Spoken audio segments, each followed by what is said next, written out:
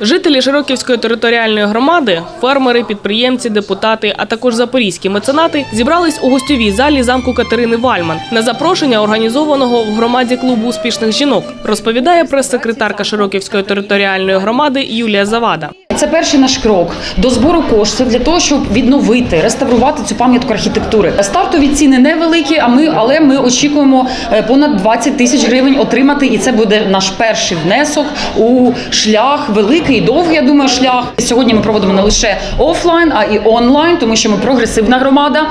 Е, Очікуємо також, що долучаться до нас глядачі, які не зможуть, на жаль, приїхати, але також поторгуватись зможуть. Під час аукціону розіграли 25 лотів. Це виготовлені місцевими майстринями жіночі аксесуари та прикраси, картини художниці Лариси Борщевич, посуд із репродукціями художниці Наталії Коробової, виготовлені шкільними педагогами ляльки-мотанки, а також смаколики, новорічні календарі і листівки. Лоти презентували театрально. Сучасну Катерину Вальман зіграла заступниця голови Широківської громади Ольга Ставицька.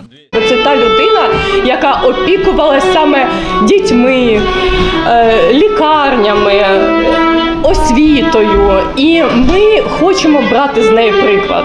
Це дуже добре, коли меценатки, коли дівчата, пані от роблять щось гарне.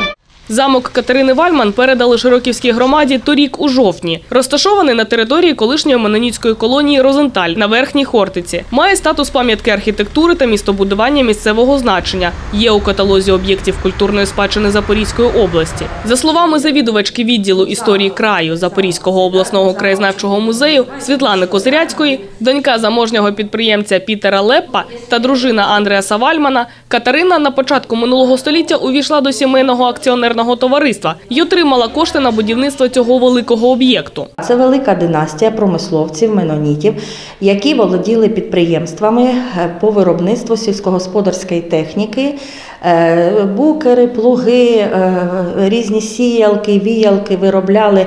Ну, в принципі, це така ну, брендове виробництво для старого Олександрівська, його околиць. І вони цим займалися. У них були підприємства в різних колоніях, і в колонії Шенвізе, і в колонії Хортиця. Катерина Вальман е, навчалася ще, коли була молодою в Німеччині, і там вона навчалася якраз щось дошкільній справі і організації дошкільних закладів. І у неї виникла така ідея тут у себе на батьківщині теж збудувати щось таке, щоб е, виділити якесь приміщення для дошкільного закладу.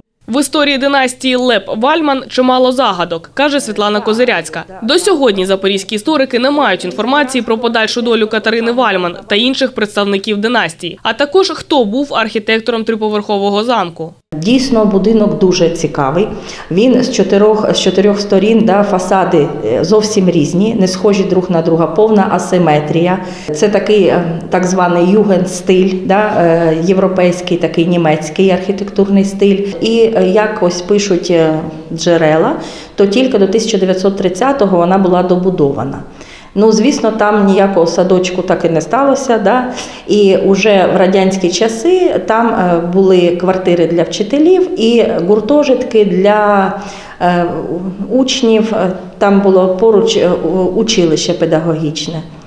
Нині у замку Катерини Вальман розташувалась адміністрація Широківської громади. За словами її керівника Дениса Коротенка, різдвяний аукціон став початком благодійного марафону зі збору коштів на відновлення старовинної споруди. Адже на створення проєктно-кошторисної документації необхідно мільйон гривень. А попередня вартість реставрації понад 30 мільйонів, каже голова громади.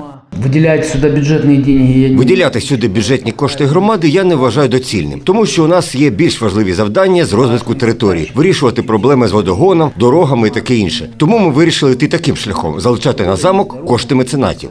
Денис Коротенко каже, після реставрації Широківська громада планує створити у замку музей історії Меноніцької колонії Розенталь, а також облаштувати громадський простір всередині будівлі та навколо неї.